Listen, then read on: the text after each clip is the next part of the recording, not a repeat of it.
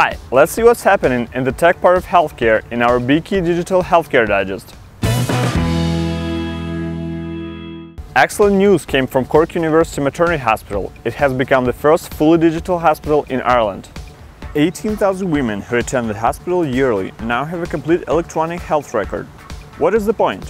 Well, there are many. Quick access to information, opportunity to share it across the hospital network, improved patient experience, and reduce risks and errors in clinical decisions.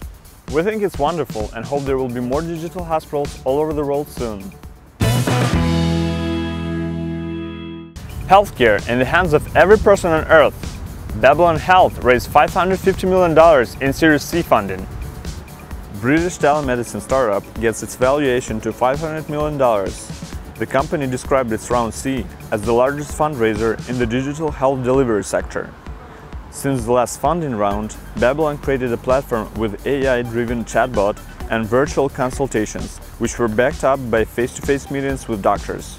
Now their mission is to put accessible and affordable healthcare everywhere. And, although there are some controversies around the unicorn, Babylon folks do their jobs amazingly well. You probably can imagine how worrying visits to hospitals can be for children, especially if they have a planned surgery. To address this anxiety, Norfolk and Norwich University hospitals have launched a virtual ward tour with a doctor, nurse and an anesthetist. The Little Journey app and its characters guide children through the process of preparing for surgery. The app can be used in 3D through VR headset and has video for children of age between 3 and 12 years old. Hopefully, the Little Journey app will reduce stress in both children and their parents and improve hospital experience. That's it for today. See you later.